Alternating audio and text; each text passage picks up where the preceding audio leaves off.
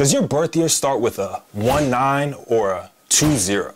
Based on my channel's viewership data, I'm gonna go ahead and guess the former, so congratulations. You are officially too old to game. Video over. Video over. Cut, cut. Okay, okay, okay. Maybe not too old to game at all, but according to a 2014 study out of Simon Fraser University on cognitive motor decline titled Over the Hill at 24, you are already physically on the way out. Better uh, pack up those esports dreams right now.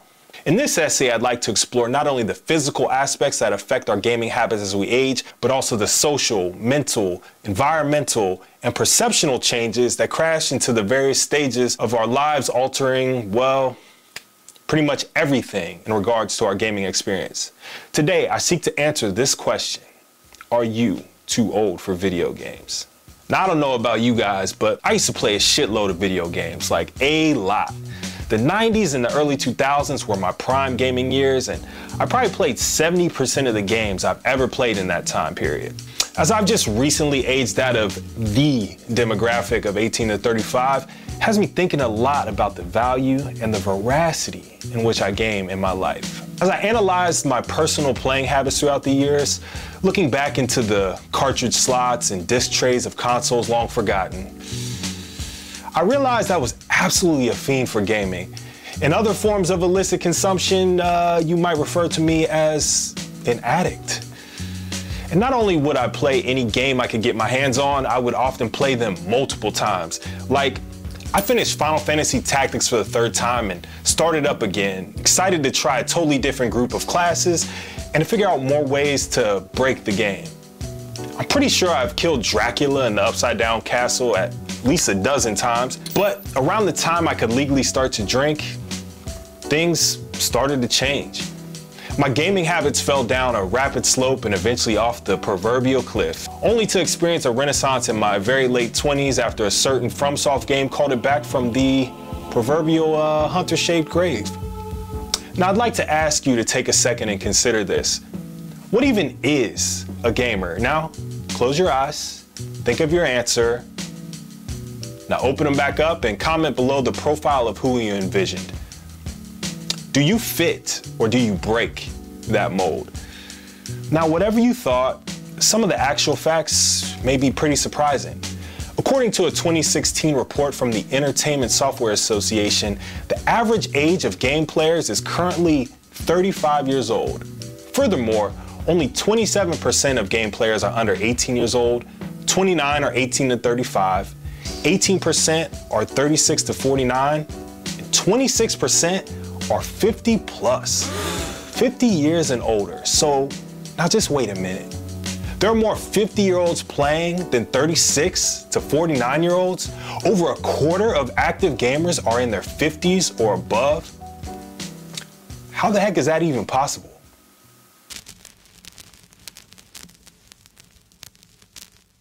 Now, one thing can be certain for almost all of us. As we age, the frequency of which we game changes dramatically.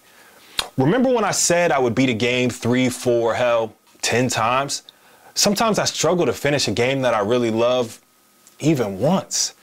I have a nine to five, a partner, a dog and two cats, groceries to shop for and cook, a household to maintain, workouts, and making just enough time for the odd friend. Sound familiar? But back in the day, Man, I feel like so many of us can relate to those formative summer months, spending all of our downtime in the house duking it out with siblings on who gets to play the next chunk on the console of your choice. That next issue of PSM or Nintendo Power couldn't come in the mail soon enough just to find out which game on the horizon would be next to give you that fix. Even with a full Rolodex of friends on call and just a few bike strokes away, Many of us couldn't wait to enter new worlds that only our controllers and joypads could take us to.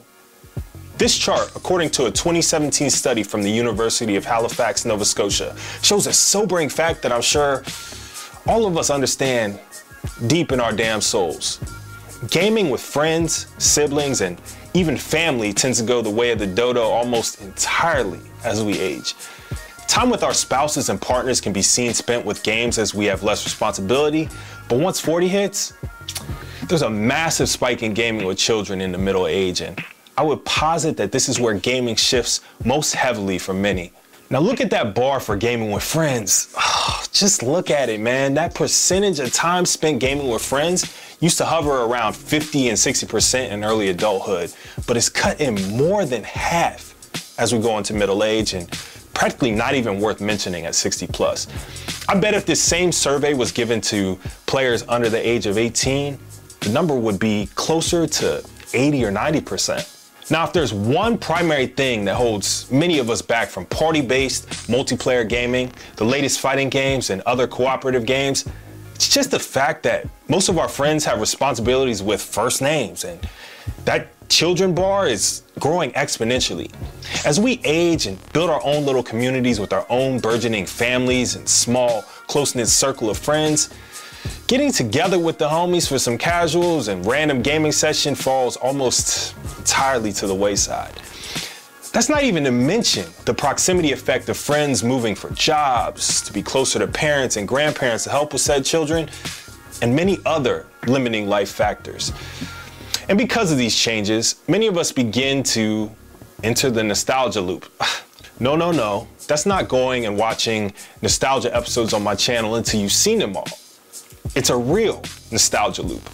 We have very limited time to interact with new games, so we tend to reach back into the games that remind us of a time where gaming satisfied us fully and all we had was time. The human brain is a fascinating machine, is it not? Bro. I cannot tell you how many fighting games I've tried to pick up in the past five to six years, be it Street Fighter V, Skullgirls, KOF 15, only to bounce off of them because I just don't have anyone to play with. And I'm so out of practice from playing fighters in general against human beings that feels like it's not even worth trying.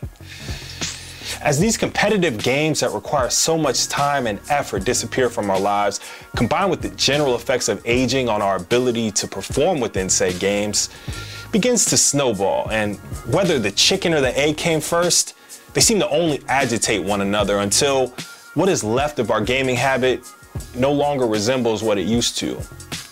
The self-determination theory attempts to explain at least some of this. SDT is based around the notions of human motivation, development, and well-being, stating that humans have three intrinsic psychological needs that motivate their behaviors. Competence, relatedness, and autonomy. Competence refers to our desire to feel effective whenever we face challenges. In the scenario where you stop playing fighting games with any consistency, lack of competence shows itself very quickly the second you get on the sticks. Now, anyone with some time on you working on their skill set is probably just gonna whoop your ass, and that can be so disheartening you don't come back for a long time or even at all. Strike one. Relatedness refers to our feeling of connectedness within the social context. Fighting games and cooperative games are as social as they get. But when life gets in the way for both parties to ever get together with any consistency to truly integrate, it becomes harder and harder to find that relatedness, to feel connected to your fellow player. It's like trying to be best friends with just an acquaintance. Strike two. Autonomy refers to the sense of control we have whenever taking a task on. The way we perceive that in the context of gaming is through choice. In the fighting game scenario, uh, you don't really have a choice in, uh, you know, getting your ass destroyed three straight games in a set of five. So you tend towards games that do not conflict with your ability to make your own decisions and to feel in charge of that game world. Three strikes, you're out of here. And as we play less competitive games, have less competition in our lives, and don't have the same drive to outperform others that we once did, that must impact the type of games and our reasons for playing as we age, right?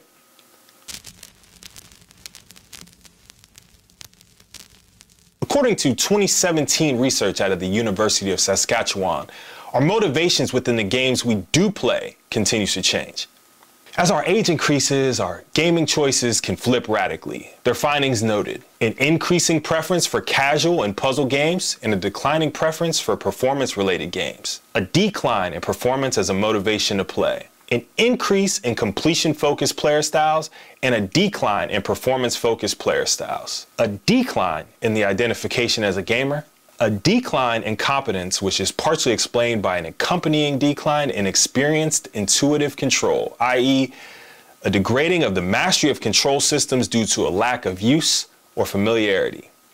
Now, it's a whole big word salad just to say the pattern that emerges suggests a shift away from performance and towards completion, and an appreciation of choice and experience.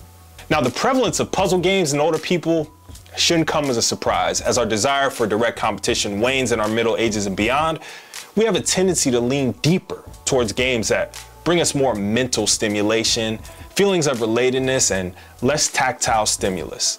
And with factors such as growing families, stresses, competition in our careers, as well as a downturn in time to devote to getting good at more execution heavy games, fitness, educational, and casino style games join puzzle and strategy games as many older gamers preferred ways to unwind.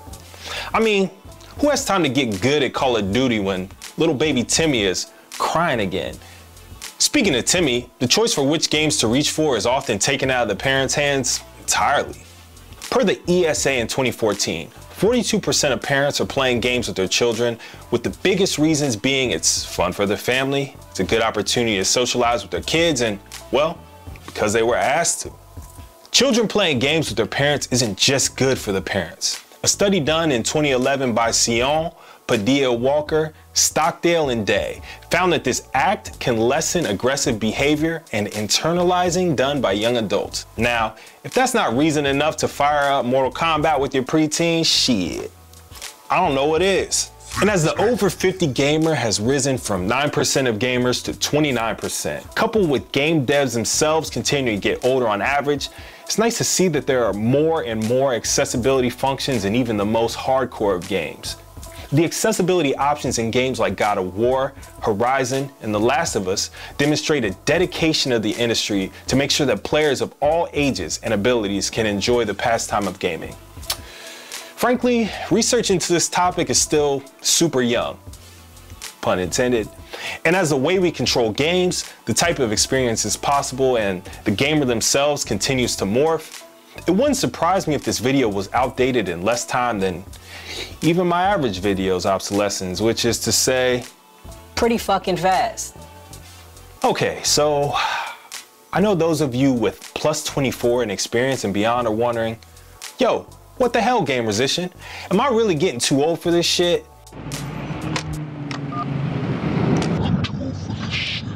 The article that inspired this video, Over the Hill at 24, did in fact find some interesting outcomes after observing league play in StarCraft 2, with self-reporting showing over 545 hours on average of gameplay between all participants. The study measured players looking doing latency, or their ability to identify, respond, and react to visual stimuli across all leagues of play, and they all broke almost exactly the same.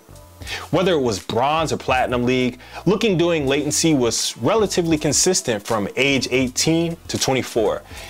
It was only after 24 did it start to rise for all players, linearly at that. And by 45, well, you're basically toast. So next time you crush your dad in a game of Street Fighter 2, despite him swearing he's played it for 30 years now, maybe cut him a break, uh, cause you are quite literally built different.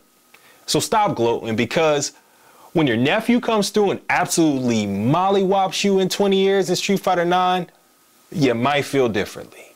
And while this study indicated that there is a potential motor decline somewhere around our mid 20s, it points out that for most, this is such a gradual and minor slope that you probably won't even notice. I mean, shit, if I can still be Sword Saint Isshin in my mid 30s, let's hope for us all. But just know your gaming peak is probably behind you, and uh, that's totally okay. Not all of us are cut out to be the next great esports player, but research also shows that there are so, so many benefits of playing games well beyond your 24th year.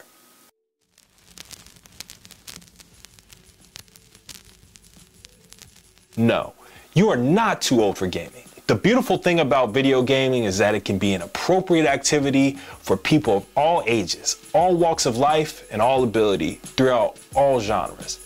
According to a 2018 study on the positive impact of gaming on how we age, there are so many positives in playing video games into our more advanced years that go well beyond the feeling of victory. Video games increase our cognitive functioning, reaction time, memory, attention span, and ability to multitask. Social games also allow older players to meet new friends, connect with their younger loved ones, and stay a part of a community, well beyond more conventional methods. Narrative games give us a sense of choice and stimulate our imaginations, regardless of how many rotations we've taken. Not to mention that games that use more hands on tools with movement based controls are a fantastic way to stay active. Now, maybe you don't get to sit around and play with your friends the way you used to. Maybe it has gotten a bit harder to keep up with the optional bosses in your favorite game, or maybe you even find your ability to pick up those previous games from 20 years ago to be just a frustrating foray into the past. But there are so many great contemporary games being made that account for all of that. Celeste is one of the hardest games I've played and beaten, but there are a medley of options that allow every gradient of player to enjoy it even if they don't feel like bashing their head against the wall for hours, just to experience the gripping narrative. And no, nobody is judging you for playing on easy. We're all adults here. Truly, with new accessibility choices for all levels of ability, gaming is more welcoming than ever. So go ahead and hit the couch, fire up some Tetris Effect like myself, and never ever stop gaming. We are all gamers, whether it's for one hour or a hundred, and the research is right there. You're never too old to play. I hope you enjoyed this discussion. Please keep it going in the comments down below and let me know how your gaming habits have changed. And do you see yourself playing video games 10 years from now, 20, 30? I'd love to hear your thoughts on this topic. Thanks again for watching. Much love. Peace.